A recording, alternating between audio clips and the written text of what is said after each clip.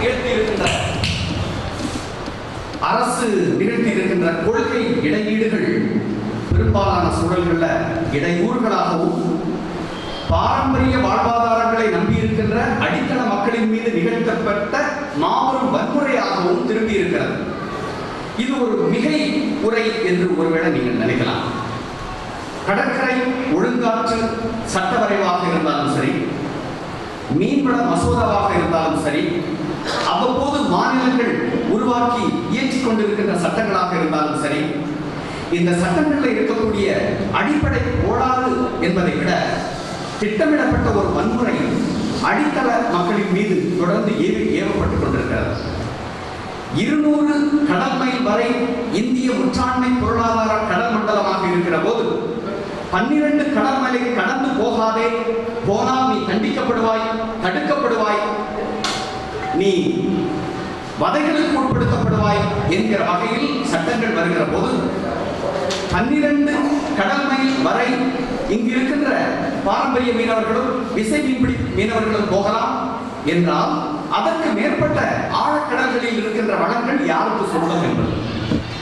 ஆயிரத்தி தொள்ளாயிரத்தி தொண்ணூத்தி ஒன்றிலே ஒரு தேசிய மீன்வள பாலிசி கொள்கை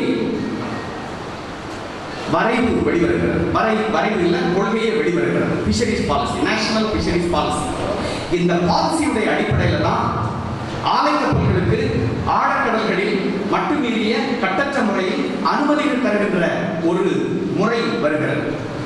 மீனவர்கள் போராடுகிறார்கள். அரசு அடி அளித்த வழங்கிய உரிமங்களை திரும்ப பெற வேண்டும். புதிய உரிமங்களை தரக்கூடாது. ஆழ்கடல் பரப்புகளை இந்திய மீனவர்களுக்கு முற்றாக திறந்து விட வேண்டும். அந்த அறுவடைகள் இந்திய கரைகளில் கரையிறங்க வேண்டும். அந்த மீன் உற்பத்தி அந்த அறுவடை இந்தியர்களுக்கே உணவாக பயன்படுத்தப்பட வேண்டும் என்கிற கருத்தோடு இந்த வெளிநாட்டு ஆலை கப்பல்கள் இங்கே வரலாவதற்கு முன்பாக நம்முடைய சமூகங்களில் இருந்த மார்க்கெட் லிங்கேஜஸ் சந்தை பிணைப்பு மிக முக்கியமாக இருந்தது.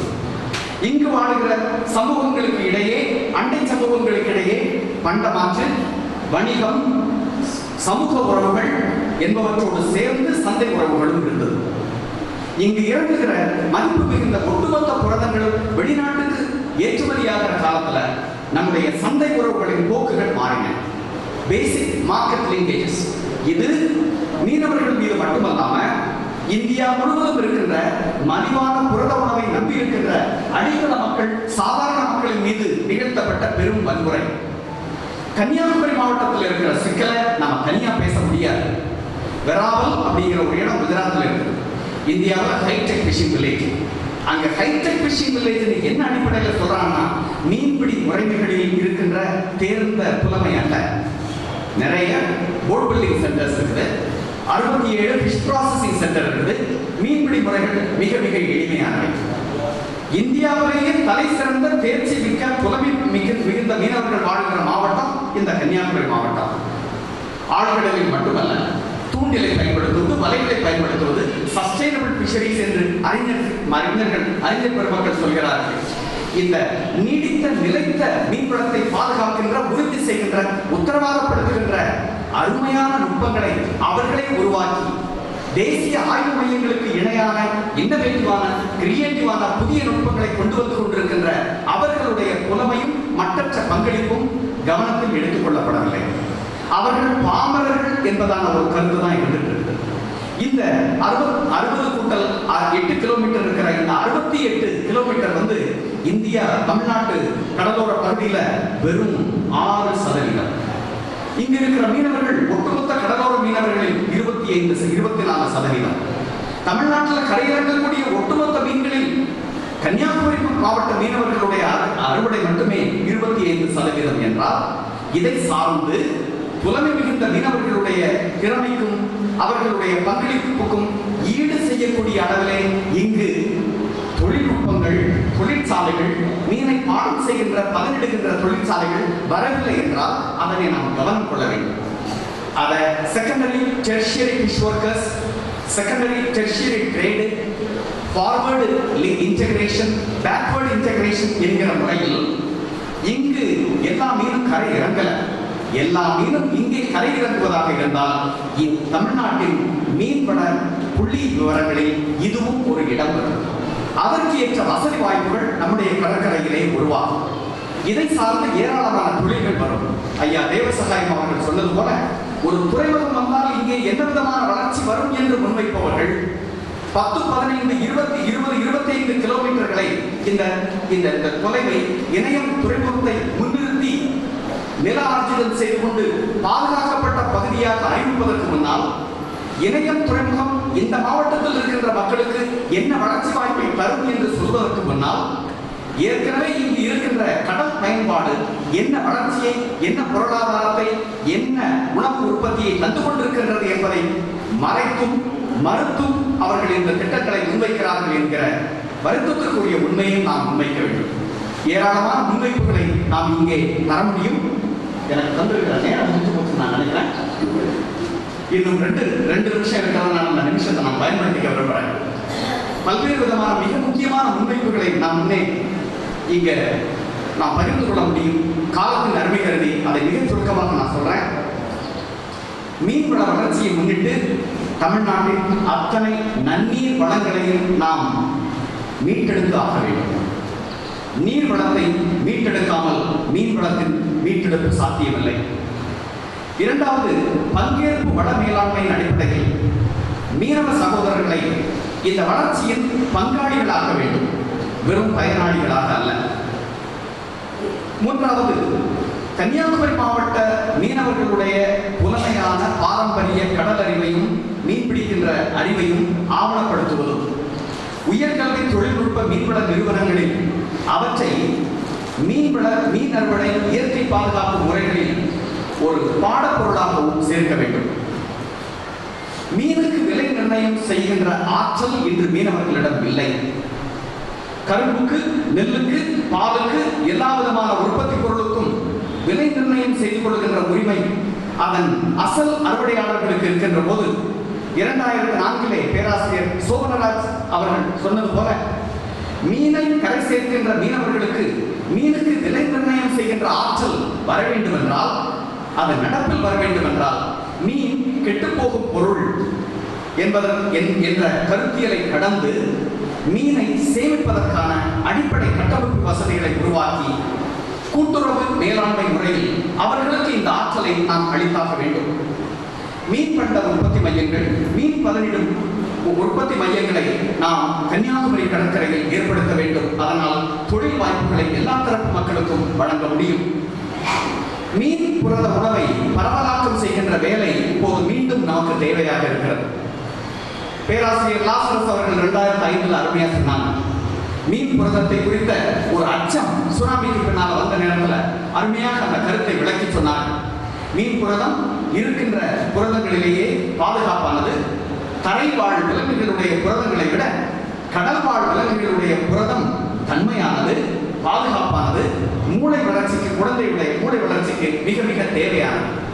அப்போ பேக்கெட்ல சாஷையில் நினைச்ச உணவுகளுக்கு பதிலாக நாமே நாம் கொண்டு வருகின்ற அறுவடைகளை பாதுகாத்து பத்திரப்படுத்தி பாடம் செய்து இங்கிருக்கின்ற மக்களுக்கு அதை கிடைக்கப்பெற செய்வதற்கான ஏற்பாடுகள் தேவை. இரண்டாம் மூன்றாம் நிலை மீன் தொழில் வளங்களை உருவாக்க வேண்டும். தொழில்நுட்ப பயிற்சி மையங்களை கன்னியாகுமரியில் ஏற்படுத்த வேண்டும். இந்த மாவட்டத்தில் ஏற்படுத்த வேண்டும். பொன்னேரியில் ஒரு மீன்வளக் கல்லூரி இருக்கிறது. தூத்துக்குடியில் ஒரு மீன்வளக் கல்லூரி இருக்கிறது. புலமை வாய்ந்த மீனவர்கள் மிகப்பெரிய எண்ணிக்கையில் அமைந்திருக்கின்ற கன்னியாகுமரியில் எத்தனை மீன் தொழில்நுட்ப மையங்கள் இருக்கிறது என்று கேட்டால் இல்லை. சிஐஎஃப்டி சிஎம்எஃப்ஆர் மையங்கள் இங்கு இன்னும் ஏற்படுத்தப்படவில்லை. அதற்கான ஒரு தேவை இருக்கிறது.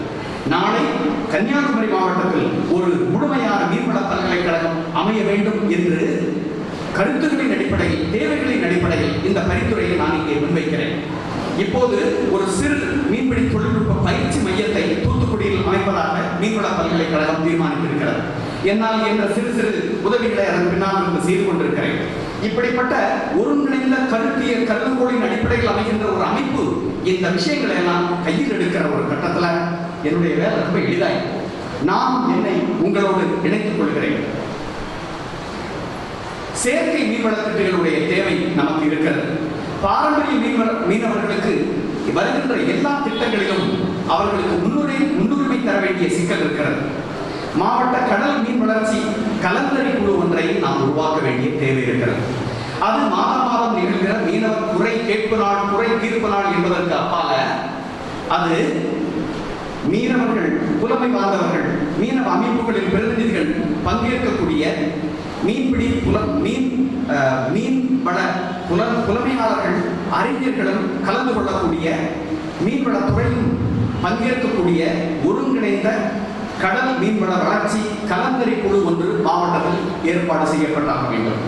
இதில் மீனவர்களுடைய பங்கேற்பு உறுதி செய்ய செய்யப்பட்ட செய்யப்பட வேண்டும் என்று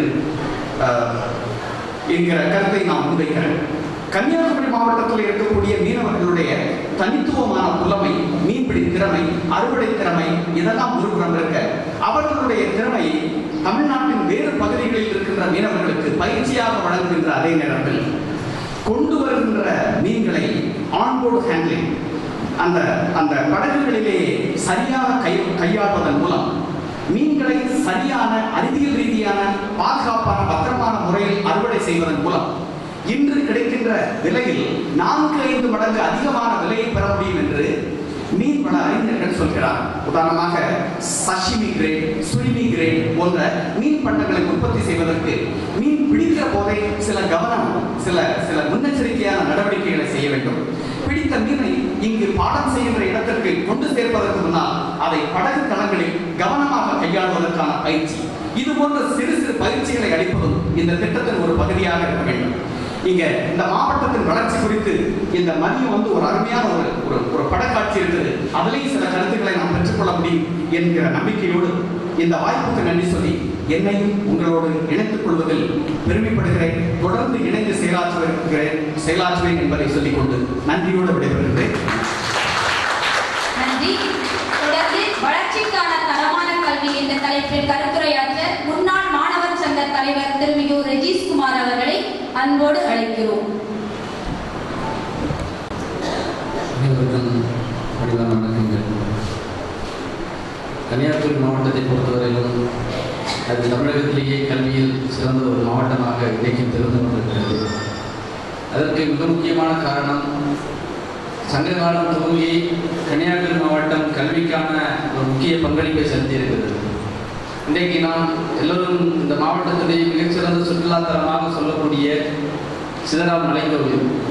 அது ஒரு சமண பல்கலைக்கழகமாக இருந்திருக்கிறது என்று ஆய்வுகள் சொல்கிறது.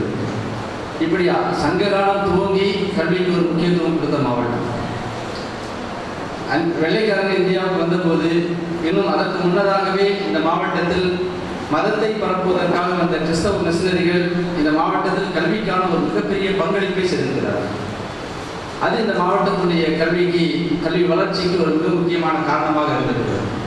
ரெண்டாயிரத்தி பதினோராம் ஆண்டு சென்சஸ் அடிப்படையில் நம்முடைய மாவட்டத்தில் எண்பத்தி ரெண்டு புள்ளி எண்பது சதவீதம் பேர் கல்வியறிவு பெற்றவர்கள் என்று ரெண்டாயிரத்தி பதினோராம் ஆண்டு சென்சஸ் சொல்லுது. அதில் ஒரு நல்ல விகிதாச்சாரம் என்னன்னா கிட்டத்தட்ட ஆண்களுக்கு இணையாக பெண்களும் கல்வியறிவு பெற்றிருக்காங்க. ஒரு எண்பத்தி ஒன்று புள்ளி முப்பத்தி ஏழு சதவீதம் பெண்கள் கல்வியறிவு பெற்ற மாவட்டம்.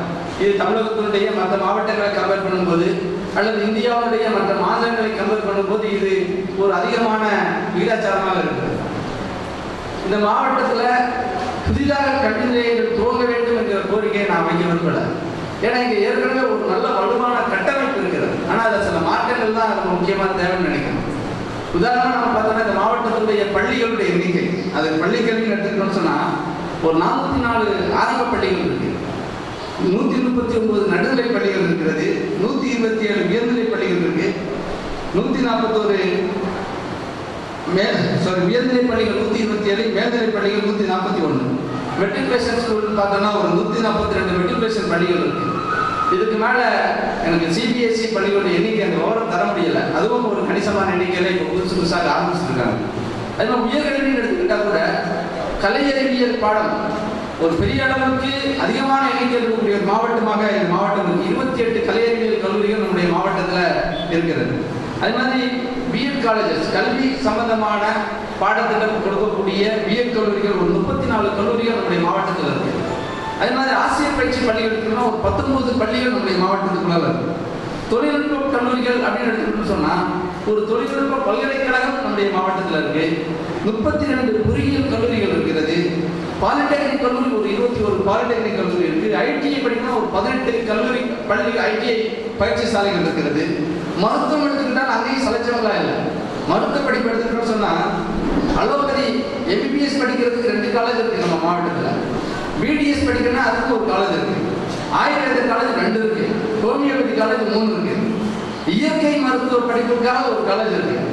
பிஎஸ்சி நர்சிங் பார்த்தோன்னா தமிழ்நாட்டில் ஒட்டுமொத்தமாக நூற்றி ஐம்பத்தெட்டு.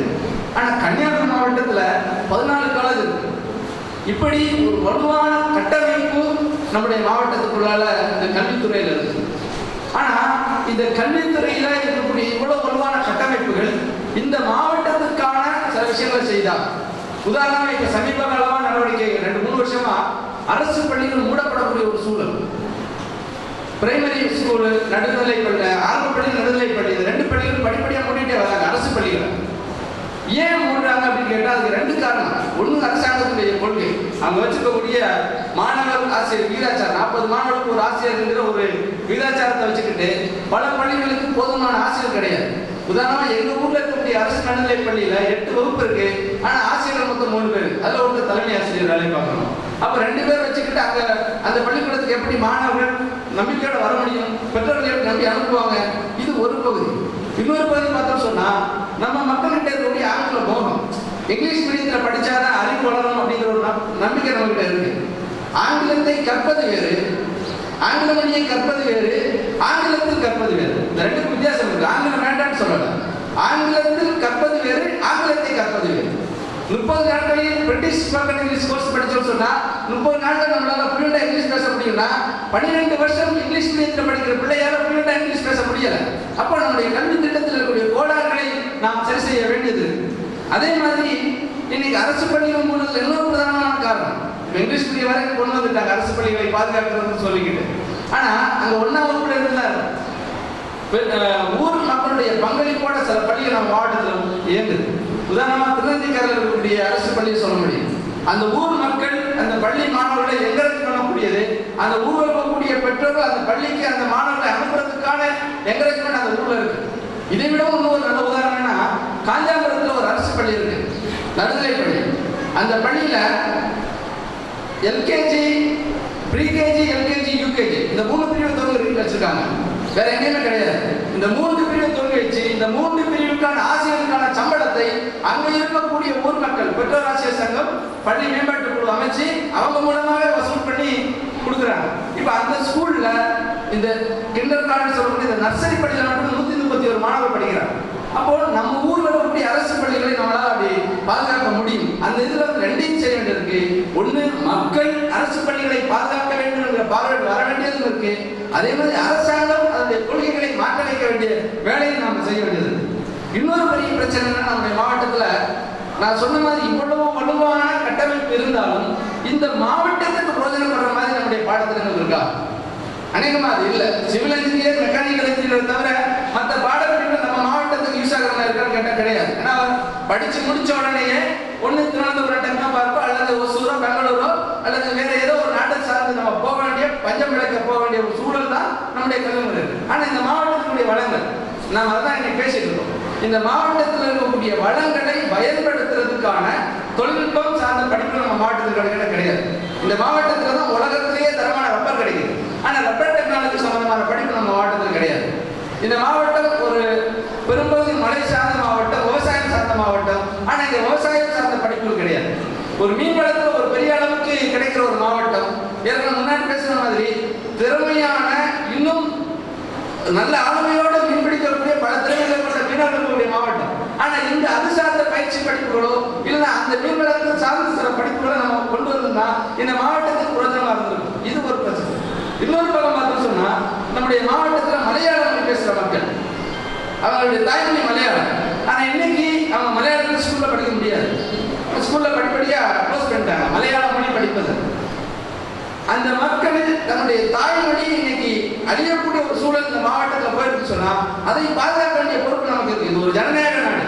ஜனநாயக நாட்டில் ஒரு பெரும்பான்மை என்பது மட்டுமல்ல சிறுபான்மை மக்களுடைய நலன் முழுமையாக பாதுகாக்கப்பட வேண்டிய சூழலும் இருக்கு. இந்த மாவட்டத்தில் ஒரு கணிசமாக இருக்கக்கூடிய மலையாள மொழி பேசுகிற மக்கள் அவங்களுடைய தாய்மொழியை இப்போ எந்த பள்ளிக்கூடத்திலையும் படிக்க முடியாத ஒரு சூழல். அப்போ இதையும் நாம் கேள்வி கேள்விக்குள்ளாக்க வேண்டியது இதையும் வலியுறுத்த வேண்டிய தேவை இருந்து நமக்கு இருக்கு. அதே மாதிரி நம்முடைய பொதுவாக இங்க இருக்கக்கூடிய பள்ளிகள்ல இன்னைக்கு மெஜாரிட்டியா அதுக்காக அரசு பள்ளிகளை மட்டும் தட்டுன்னு சொல்லக்கூடாது மெஜாரிட்டியா இன்னைக்கு தனியார் பள்ளிகளுடைய ஆதிக்கம் தான் இன்னைக்கு வலுவாக மாறி இருக்கு கட்டண கொள்ளை என்பது வலுவாக மாறி இருக்கு அப்ப இதை எப்படி நாம் உடைக்க போறோம்?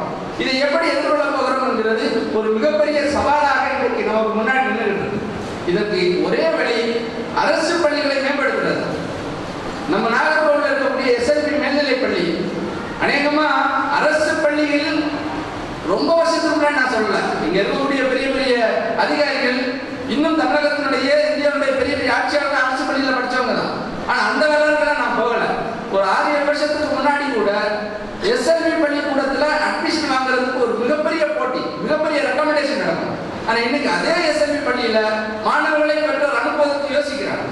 அப்போ ஒரு தரமான அரசு பள்ளி எப்படி சரிஞ்சு போச்சு அதுக்கு ஒரே காரணம் அரசாங்கத்தினுடைய இந்த மாணவர் விகிதாச்சார பிரச்சனை குறைந்தபட்சம் ஒரு வகுப்புக்கு ஒரு மாணவரையா நியமிக்கணும்.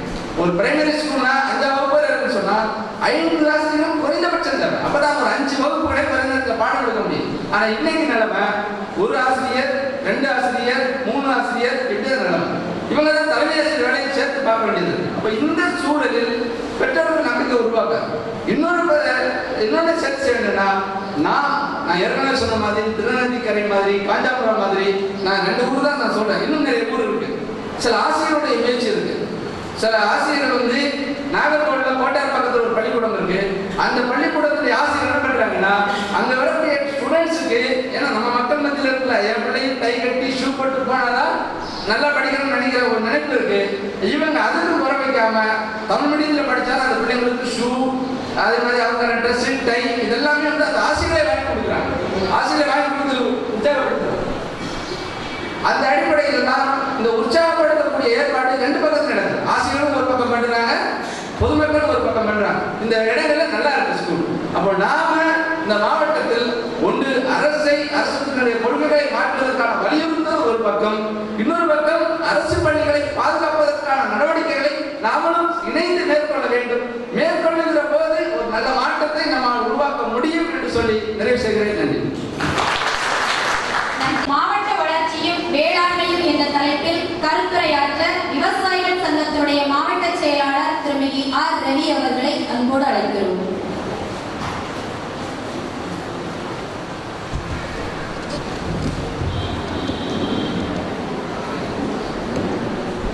அனைவருக்கும் வணக்கம் நம்முடைய மாவட்டம் ஒரு விவசாயம் சார்ந்திருக்கக்கூடிய ஒரு மாவட்டம். சமீப காலமாக விவசாயம் என்பது ஒரு கட்டுப்படியான விலை இல்லாத காரணத்தினாலும் அது ஒரு விவசாயிகளுக்கு குறைந்து போகக்கூடிய ஒரு நிலைமை என்பது நம்முடைய மாவட்டத்தில் ஏற்பட்டிருக்கிறது. நம்முடைய மாவட்டத்தில் நெல் விவசாயம் ஒரு பிரதான ஒரு தொழிலாக விவசாயமாக இருந்திருக்கிறது அதன் பிறகு மலையோர பகுதியில் பார்த்தோம் என்று சொன்னால் நம்முடைய ரப்பர் விவசாயம் என்பது இருந்து வருகிறது. அது பிறகு பார்த்தால் நெல் வாழை விவசாயம் தென்னை விவசாயம் என்ற முறையில் பல்வேறு விவசாயம் என்பது சார்ந்திருந்தால் கூட இன்றைக்கு பணப்பயிரால் கருதப்பட்டிருக்கக்கூடிய மலையோர விவசாயம் இருக்கக்கூடிய ஒரு லட்சம் ஏக்கர் மேல் இன்றைக்கு விவசாயம் செய்யக்கூடிய சிறு குறு விவசாயம் இருக்கக்கூடிய ரப்பர் விவசாயம் என்பது இன்றைக்கு ஒரு காலத்தில் அதனுடைய வெள்ளை தங்கம் என்று அழைக்கப்பட்ட ரப்பர் என்பது இன்றைக்கு விலையில்லாத காரணத்தினால் அது ரப்பர் விவசாயிகள் இன்றைக்கு என்ன செய்வது என்பது கூட தெரியாத ஒரு நிலைக்கு செல்லக்கூடிய ஒரு நிலைக்கு என்று இருந்து கொண்டிருக்கிறார்கள். இதனுடைய காரணம் என்ன அப்படின்னா வெளிநாடுகளிலிருந்து தங்கு தடையற்ற முறையில் ரப்பரை செயற்கை ரப்பரை இறக்குமதி செய்வதற்கு நம்முடைய ஆட்சியாளர்கள் அவர்கள் அனுமதி என்று வழங்கியிருக்கிறார்கள். இன்னைக்கு ரப்பருடைய விலை இருநூறு ரூபாய் இருநூற்றி நாற்பது ரூபாய் என்ற ரப்பருடைய விலை.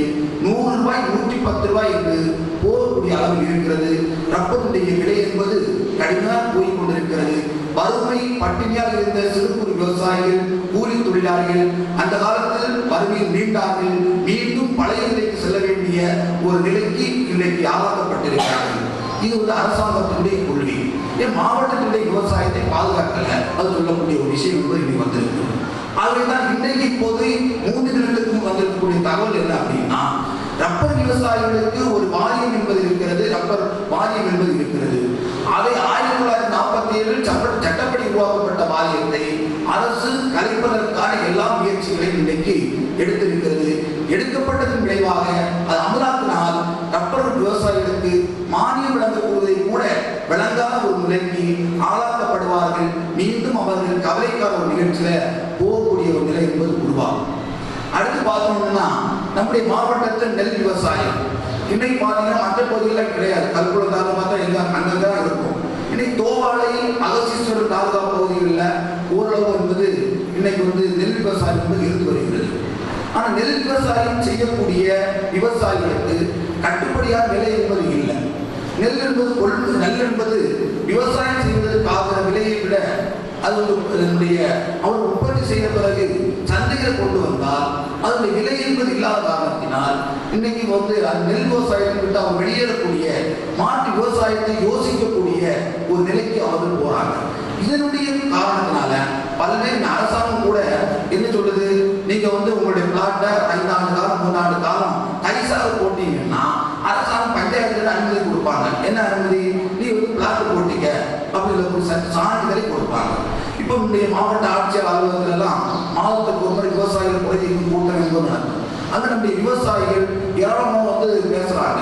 நீங்க வந்து இப்படி பண்ணாதீங்க அப்படின்னு. ஆனா நீங்க பாத்தீங்கன்னா புத்தேரி பகுதியில நம்முடைய மாவட்டத்துல சின்னாட பகுதியில் போனீங்கன்னா எல்லாமே இன்னைக்கு வந்து விவசாய நிலங்கள் அனைத்தும் இன்னைக்கு ஓ, மண் மண்களை போட்டு நிரப்பி இன்னைக்கு அவங்க கட்டிடத்தால் இருக்கக்கூடிய ஒரு நிலை வந்து உருவாகிருக்கு அப்படி இதை மாற்றணும் அப்படின்னா அந்த நெல் விவசாயம் செய்யக்கூடிய அந்த விவசாயிகளுக்கு போதுமான கட்டுப்படியான விலையை அரசு நிர்ணயித்து அவர்களுக்கு நம்முடைய மருந்துகள் அதுதான் தேவைப்படக்கூடிய இரு பொருட்கள்.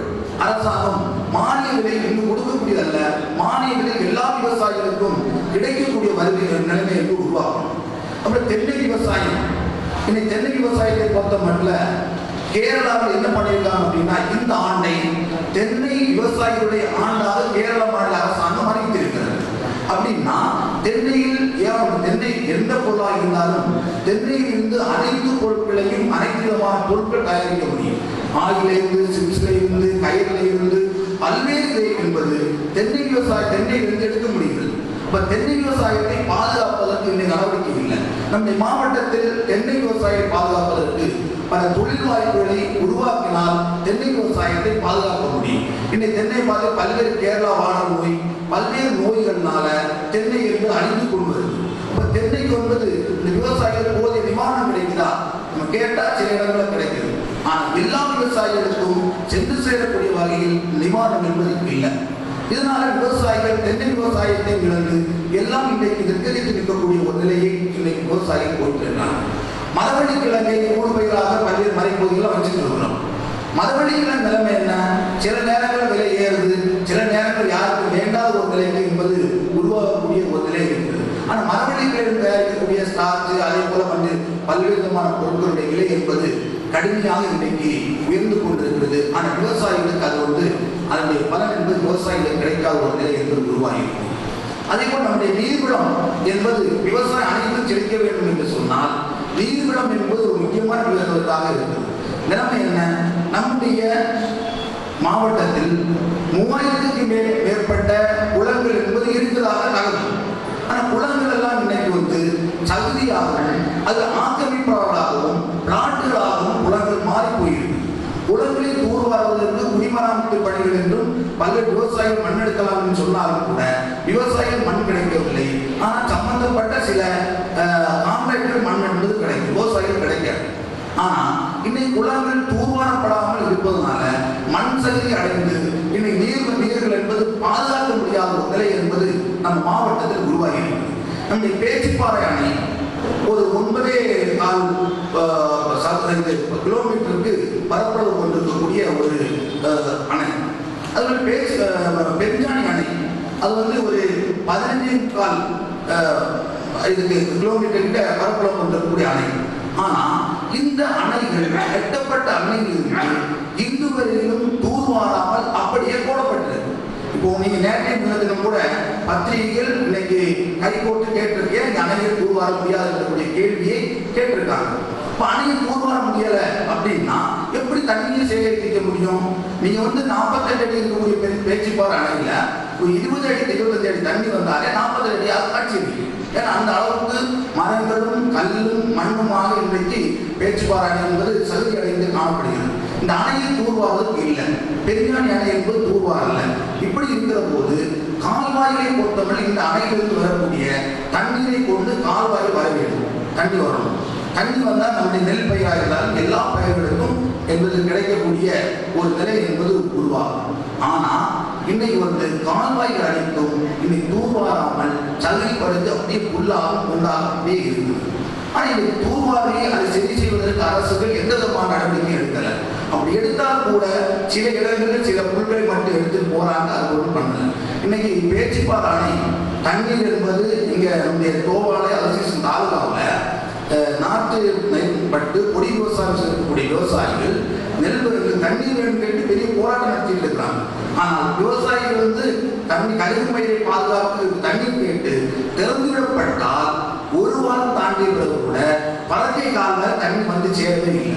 எப்படி வரும்? காரணம் என்ன அப்படின்னா எல்லா சானல்களும் உடைந்து போய் காணப்படுகிறது. உடைந்து போய் காணப்படுறதுனால இன்னைக்கு வந்து தண்ணீர் இருந்து வேறு பகுதிகள் எல்லாம் அங்கே போகக்கூடிய ஒரு நிலைமை உருவாகும். நேரடியாக விவசாய தண்ணிக்கு போகாத ஒரு நிலை என்பது உருவாகக்கூடிய ஒரு நிலை என்பது உருவாகும். ஆகவே இந்த மாவட்டத்தில் கால்வாயை உருவாக்குவது குளங்களை பாதுகாப்பது அதே போல நீர்கள் என்பது க- கடல்ல வே- வேஸ்டா கலக்கக்கூடிய தண்ணீர் என்பது செட்டாம்பை கட்டி நீர்நிலை நீரை பாதுகாப்பதன் மூலமாக விவசாயத்திற்கும் குடிப்பதற்கும் கால்நடை பராமரிப்பதற்கும் தண்ணீரை பாதுகாக்க முடியும். விவசாயத்தை பாதுகாக்க முடியும். இந்த மாவட்டத்தில் ஒரு டிப்ளமோ அக்ரிகல்ச்சர் கல்லூரி என்பது இருக்கிறது. அது வந்து பிஎஸ்சி அக்ரிகல்ச்சர் வேண்டும் ஒரு கோரிக்கை இருந்து கொண்டிருக்கிறது. அதே போல நம்ம ரப்பர் ஆராய்ச்சி மையம் இந்த மாவட்டத்தில் உருவாக்கப்பட வேண்டும். இப்படிப்பட்ட நிலையிலிருந்து விவசாயிகளை பாதுகாப்பு நடவடிக்கைகளை எடுக்கப்பட வேண்டும் உங்களோடு சேர்ந்து தமிழ்நாடு விவசாய சங்கம் இணைந்து நிற்போம் என்று கேட்டு விடைபெறுகிறேன் நன்றி வணக்கம். நன்றி தொடர்ந்து குமரி மாவட்ட சமூக பொருளாதார அரசியல் சூழலும் பெண்கள் மேம்பாடும் என்ற தலைப்பில் கருத்துரையாற்ற மலரமைப்பின் மாவட்ட தலைவர் திருமதி ஜான்சி பாய் அவர்களை அன்போடு அழைக்கிறோம் அனைவருக்கும் அன்பின் எளிய வணக்கத்தை உண்டாக்கிக் கொள்கிறேன். பெண்களின் சமூக பொருளாதார வளர்ச்சி என்று பார்க்கும்போது ஒரு நாடு